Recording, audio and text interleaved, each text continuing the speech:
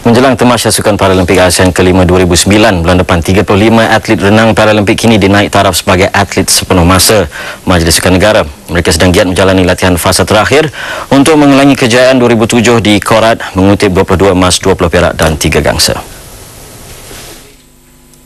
Sidang media yang tadi menggariskan persiapan terakhir skuad renang Paralimpik Negara. 35 atlet dikendalikan 10 jurulatih diketuai Mei Ang Siok Leng. Menurut pengarah cawangan atlet Paralimpik MSN, Safru Syahar Muhammad Yusof, tahun ini skuad renang memburu jumlah pingat yang lebih tinggi berbanding edisi lalu.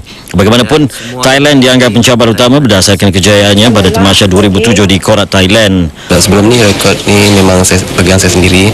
So uh, sejak daripada bulan 3 itu saya train memang sasaran saya untuk memecahkan rekod baru. Renang antara penyumbang terbesar pinggan emas Malaysia dalam Temasya Paralimpik ASEAN.